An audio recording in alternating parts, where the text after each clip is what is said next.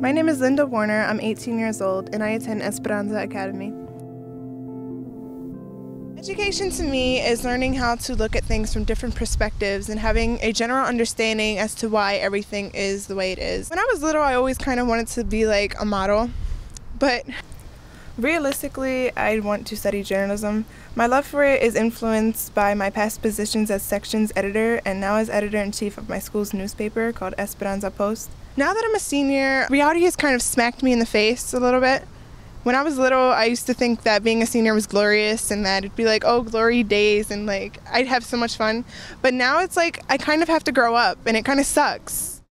I try to write in white instead of black so that even if I mess up, my ink can't prove what I lack. I always attempt to walk straight and attempt to hold my posture, and yet, for some reason, that just puts me out as bait, and everyone says I'm my own terrible monster. They say I can't reach my goal. But if personal perfection didn't exist, then what's the definition in which this word should hold? Because all I'm trying to do is avoid this whole failure mist and work towards something bigger so that when I'm older, outside of school, I used to participate in poetry slams, which helps you articulate things and helps you look at things from a different perspective, which I think ties into my definition of education. So I think writing and looking at things from different views helps you um, really just broaden your whole idea about everything, regardless of what it is.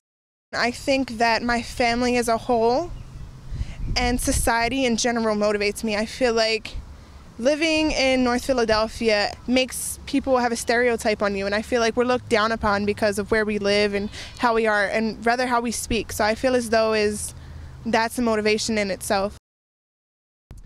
One weakness would be I have anxiety problems, and anxiety issues like it adds up to your stress because it could be the simplest things of a homework assignment or a due date. And anxiety just makes you overthink and like overwhelm yourself with all these different things when it's just simple. Do your homework and get it handed in on time. As graduation approaches quickly, the process of preparing for college is honestly one of the most real and challenging things I've ever had to deal with. I mean, paying for college is hard for anyone, especially as an 18 year old senior. I'm terrified. I'll be the first to graduate high school in my family and definitely the first to attend college, so the pressure is on. Every day is kind of like an uphill battle for me. I feel like it's a constant struggle between making a decision between sleeping and eating and school. So it's either one of the three that I choose. I don't really spend much time socially, nor do I spend much time just sitting around. I feel like it's crucial to make sure that you do everything the best you can do it, and if not, make sure you put in the best effort.